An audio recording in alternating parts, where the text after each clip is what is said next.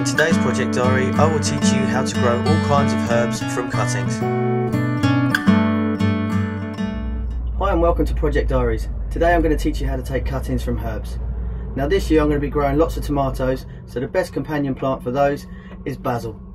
Now it's only an annual, so it's only going to last for one year, but I've also got some mint here, and that's a perennial. That will come back every year. So I'm just going to teach you how to make some cuttings now.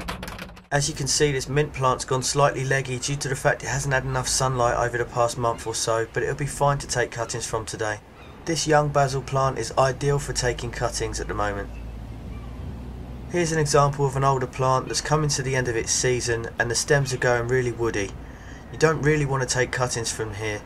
To ensure a successful cutting every time, use the younger greener stems. So get yourself a clean pair of scissors and find yourself a stem with 3 to 4 really nice leaves at the top. Now the average size for a cutting is around 4 inches but you can use anything between 2 and 6 inches if you prefer. Now this same technique for taking cuttings will work for almost every single herb plant.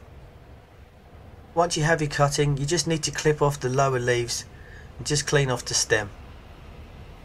It's a good idea to take cuttings as you use them for cooking in order not to waste any leaves. Now you've cleared off the leaves and got yourself a perfect cutting, this next step is completely optional. It is advisable to use some hormone root powder in order to boost the root system when you're trying to grow these. Using this will speed up the rooting system by a couple of weeks. Just dip the cutting in the rooting powder and make sure the tip is covered well. Then just take the cutting and place it in a cup of water, making sure the stem is at least covered by halfway. I'm going to do exactly the same process using this mint from my food waste bin.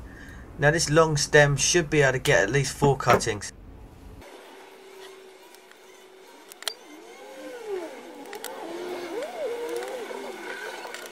Now just place the cup on a warm windowsill and make sure it gets at least 6 hours sunlight a day. Between 7 and 10 days, you should start seeing a small amount of root system starting to emerge. Two weeks in, you should start seeing a really nice root system developing. Around the three week mark, you should be able to see something similar to this. Now all you need to do is just take them out of the water and separate them gently. They should come apart really easy, so try not to force them or break any of the roots.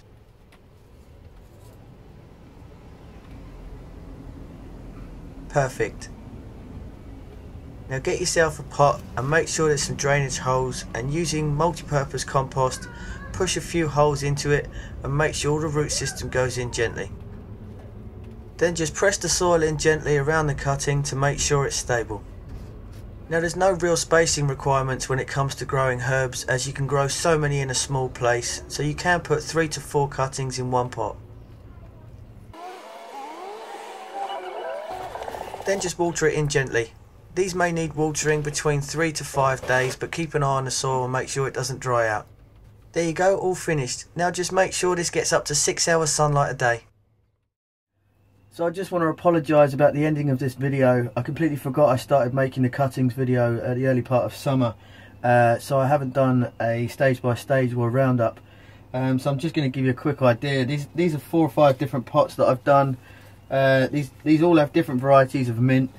Uh, the basil's dying back because it's now getting a lot colder, um, coming into the end of November now. But there are still some young shoots on there that I can snip off and take inside. Uh, if you've got a windowsill that has uh, six to eight hours uh, worth of sunlight during the day, these are so easy to grow indoors. Um, that's the same with pretty much any herbs. Uh, you can start your own little herb garden inside. That's that's fine. Um, I'm just going to show you this one here that I've completely neglected. it's gone crazy. This was another pot that I took from cuttings uh, and it's actually going into uh, the flower phase where once this is finished I can take the seeds from this and try and grow it from seed next year. But these cuttings work, sorry about the motorbike,